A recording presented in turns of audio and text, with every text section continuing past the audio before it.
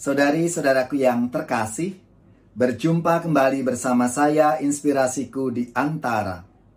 Renungan Harian Jumat 7 Mei, Pekan Paskah yang kelima. Semoga kita bersama keluarga, komunitas kita di mana pun kita berada, selalu dalam keadaan baik, sehat, dan tetap bersemangat. Saudari-saudaraku yang terkasih, inspirasiku hari ini dari Injil Yesus Kristus menurut Yohanes. Bab 15 ayat 12 sampai 17.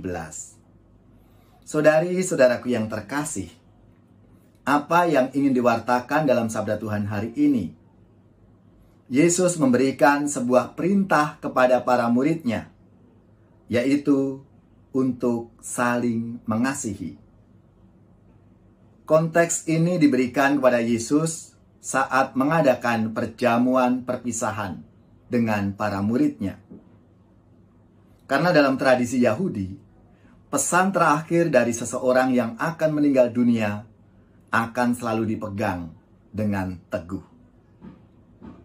Maka Yesus ingin setelah kematiannya, para murid itu melaksanakan apa yang menjadi pesannya. Saudari-saudaraku yang terkasih, kasih berasal dari Allah. Bahkan Allah adalah kasih itu sendiri. Oleh karena itu Yesus berkata, "Seperti Bapa telah mengasihi aku, demikian jugalah aku telah mengasihi. Tinggallah di dalam kasihku itu."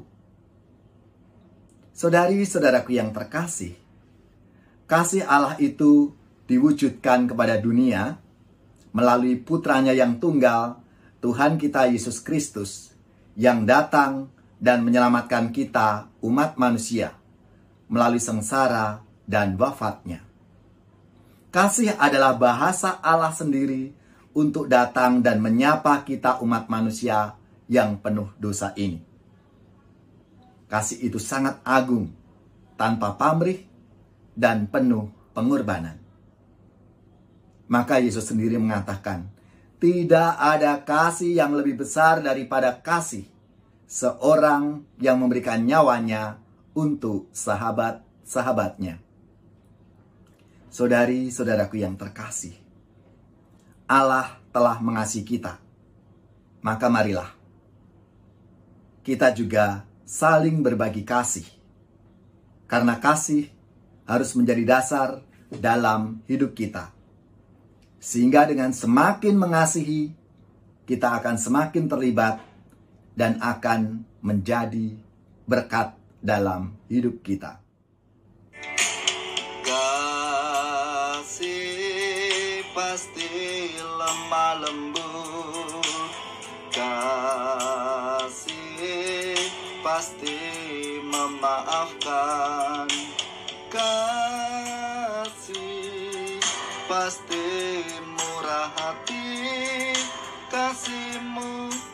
kasihmu Tuhan. Ajarilah kami ini saling mengasihi. Ajarilah kami ini saling mengampuni. Ajarilah kami ini kasihmu ya Tuhan. Kasihmu kudus tiada batasnya. Ajarilah kami ini saling mengasihi. Ajarilah kami ini saling mengampuni. Ajarilah kami ini kasihmu ya Tuhan Kasihmu kudus tiada batasnya. Kasihmu kudus tiada batasnya.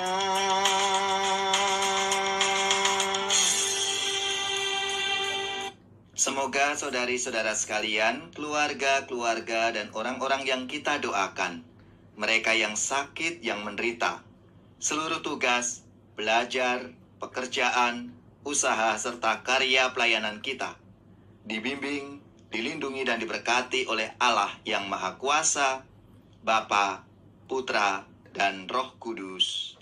Amin.